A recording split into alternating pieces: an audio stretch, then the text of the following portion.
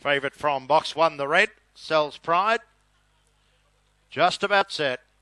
Light Racing, Sells Pride began well, showing speed in the centre was Dainty Osty. It came across and led over Smooth Soweto up nice and handy. Then White Goddess Southern Floss coming to the inside with Sells Pride. Near the rear was Bed of Nails. On the money was Dainty Osty. Is clear at the halfway mark over White Goddess. Now Sells Pride running on with Southern Floss, but Dainty Osty in front. Dainty Osty clear and one.